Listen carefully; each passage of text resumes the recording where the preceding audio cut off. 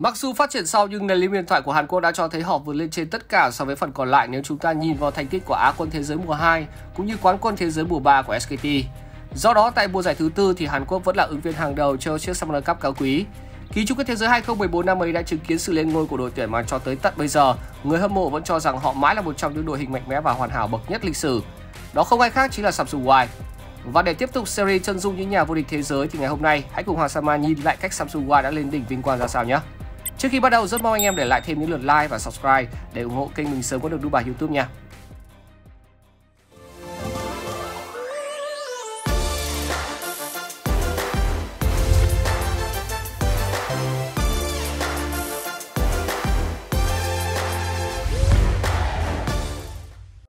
Sự ra đời của Samsung Y Ít ai biết rằng gã khổng lồ Samsung Y lại có nguồn gốc xuất xứ từ bộ đội tuyển liên minh thoại nghiệp dư nhỏ bé có tên là MVP Ozone. Vào tháng 5 năm 2012, tổ chức MVP được thành lập để tham dự các giải đấu liên minh thoại được tổ chức tại Hàn Quốc bao gồm 3 đội nhỏ MVP White, MVP Blue và MVP Red. Trong đó MVP White là đội tuyển để lại được nhiều ấn tượng nhất tại các giải đấu lớn khi họ bắt đầu tham gia vào năm 2012. Họ vô địch giải đấu Liên minh thoại nghiệp dư NLB Summer 2012, xếp hạng 2 tại giải đấu CPL Shenyang 2012 sau chiến thắng ấn tượng trước Oh My God và chỉ để thua đội tuyển số 1 Trung Quốc thời điểm bấy giờ là IG. Và cuối cùng là xếp hạng 3 tại giải đấu quốc tế International Econtrols Festival 2012. Sau giải đấu mùa đông, MVP Gaming thông báo rằng họ đã chính thức cơ cấu lại đội tuyển cụ thể. MVP White đổi tên thành MVP Ozone, còn MVP Blue và MVP Red cùng các thành viên còn lại của đội hình GSG sẽ sát nhập thành MVP Blue.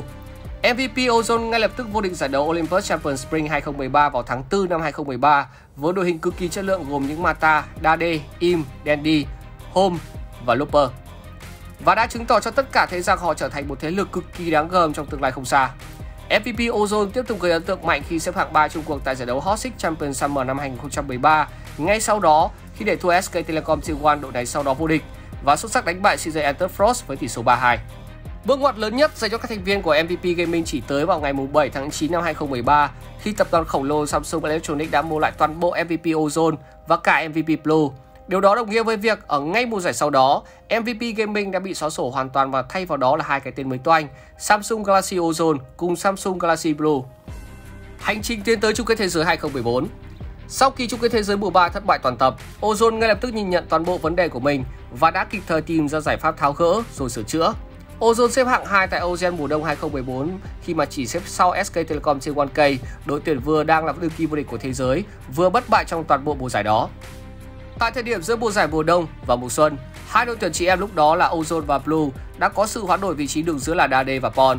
Để rồi sau sự hoán đổi mang ý nghĩa lịch sử đó, Ozone phải nếm thêm hai thất bại liên tiếp tại vòng bán kết giải đấu Ocean mùa xuân và mùa hè đều trước Blue. Vào ngày 11 tháng 6 năm 2014, Samsung Galaxy Ozone được đổi tên thành Samsung Galaxy One để kết hợp cùng Samsung Galaxy Blue đánh bại đối thủ không đội truyền chung SK Telecom T1 trong trận chung kết của giải đấu LL Master 2014. Số phận tiếp tục đưa đẩy Samsung Y và SK Telecom C1K phải giáp mặt nhau trong cuộc chiến sinh tử tại tứ kết của Ocean mùa hè 2014. Và bằng thực lực có phần vượt trội lúc bấy giờ, Samsung Y đã hủy diệt đương kim vô địch thế giới khi ấy là SK Telecom C1K với tỷ số 3-1 chung cuộc và giá tiếp khiến cho Faker cùng đồng đội phải ở nhà xem chung kết thế giới qua TV. Con đường bước tới ngay vàng Samsung One đã có được chiếc vé thứ hai của khu vực Hàn Quốc đến với chung kết thế giới 2014 với một màn hủy diệt SK Telecom T1K cùng với người anh em Blue. White được đánh giá là một trong những đội tuyển liên minh điện thoại mạnh nhất thế giới ở thời điểm lúc bấy giờ. Đội hình của White bao gồm Looper đường trên, Dandy đi rừng, Paul đường giữa, Im xạ thủ và Mata ở vị trí hỗ trợ. Đối với Samsung Galaxy Y, đường tới bán kết của họ có thể ví như một con đường trải đầy hoa hồng. Rơi vào một bảng đấu tương đối dễ dàng, Samsung Y nhẹ nhàng tiến vào vòng tứ kết với thành tích toàn thắng.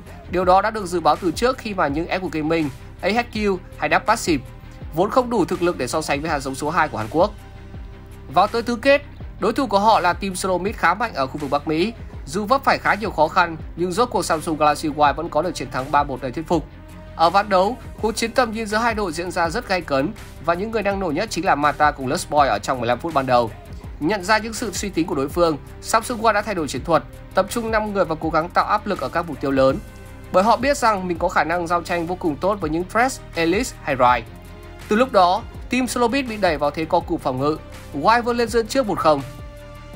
Sang tới ván 2, giao tranh nổ ra từ rất sớm, các tuyển thủ Samsung Y cho thấy sự vượt trội về mặt kỹ năng so với những người đồng nghiệp bên phía bên kia chiến tuyến. Đây có thể coi là một thất bại về mặt tâm lý của team Solomid. Họ đã không giữ cho mình cái đầu lạnh như ở trận đấu trước và rồi tự rơi vào mẻ lưới được răng ra bởi Samsung White. Ở ván 3, những tường team Solomid đã gãy sau hai ván thua nhưng họ sớm có lợi thế dẫn trước sau pha đánh nhau đầu game. Samsung White đã chủ động đánh chậm lại hòng kéo dài ván đấu, nhưng với sự xuất sắc của toàn bộ tập thể, đặc biệt là Thresh trong tay của Lust Boy, mà White đã phải lần đầu nhận thất bại tại chung kết thế giới. Ván đấu thứ tư đã diễn ra vô cùng gay cấn đúng với tính chất quan trọng của nó. Cả hai đội đều chủ động chọn lối chơi an toàn và khác biệt chỉ đến từ sự già dơ của người Hàn. Những pha di chuyển rất tốt bên phía của các tuyển thủ Samsung White đã giúp họ liên tục bắt lẻ thành công cũng như có được lợi thế từ sớm. Mà điểm nhấn chính là pha pentakill thứ hai của Im tại chung kết thế giới mùa 4 ở phút thứ 15. Team Solobit chống cự rất dữ dội nhưng Amazing lại mắc sai lầm chí mạng và tạo cơ hội cho Samsung White kết liễu trận đấu. Định mệnh một lần nữa đưa đẩy Samsung White đối đầu với Samsung Blue ở một cặp BO5. Có một phép khá thú vị mà chúng ta nên để ý trước cặp bán kết này diễn ra. Đó là việc Samsung White vốn dĩ bị đánh giá thấp hơn so với người chị em Blue. Thậm chí, vào mùa giải năm đó, ban lãnh đạo của Samsung Galaxy còn đưa ra một quyết sách đầy bất công khi tráo đổi vị trí của hai người chơi đứng giữa là Pon và Dade, đẩy Pon từ Samsung Blue sang Samsung White và đưa Dade từ Samsung Ozone sang Samsung Blue theo chiều ngược lại. Họ muốn dồn toàn lực cho Samsung Blue chinh phục các danh hiệu và khi đó Dade là người được đánh giá cao hơn so với Pon, cũng như Dev luôn được đề cao hơn so với Im. Tất cả đều thuộc biên chế của đội hình Samsung Blue, trong khi Samsung White chỉ đóng vai trò sân sau. Nhiều người ở thời điểm đó có lẽ đã sốc nặng khi White hủy diệt Blue 3-0 áp đảo. Trong cả 3 ván, Samsung White gần như thể hiện sự áp đảo tuyệt đối. Trong ván 1 với khả năng kiểm soát bản đồ mà Samsung White có được lợi thế từ rất sớm với mạng bắt lẻ và dòng.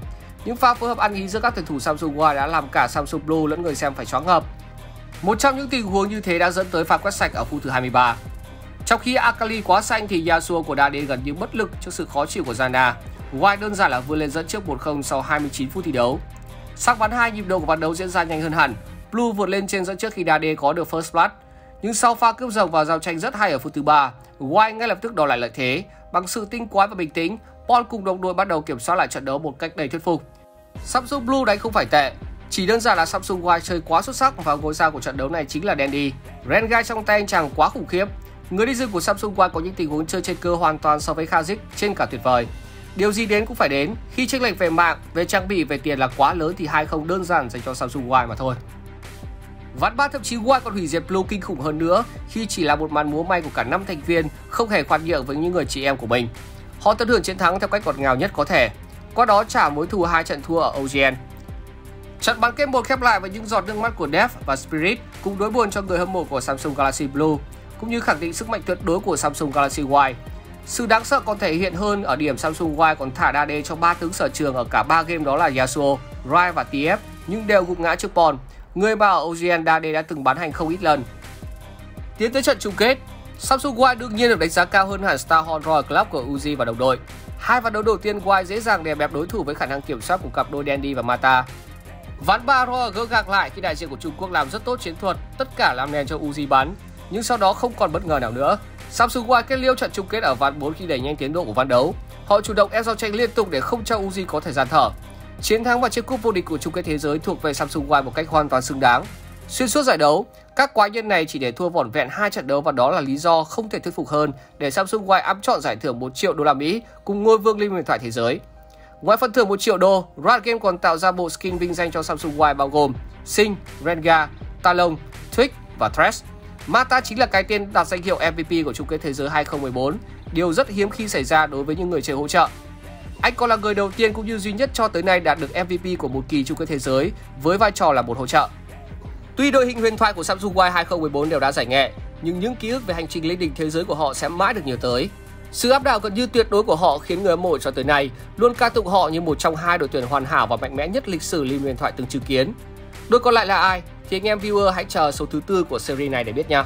Cuối cùng, mình xin chân thành cảm ơn các bạn đã theo dõi hết video. Nếu thấy hay, hãy nhấn like và subscribe để ủng hộ kênh youtube của Bình luận viên Hoàng Sama nha. Còn bây giờ thì xin được kính chào và hẹn gặp lại.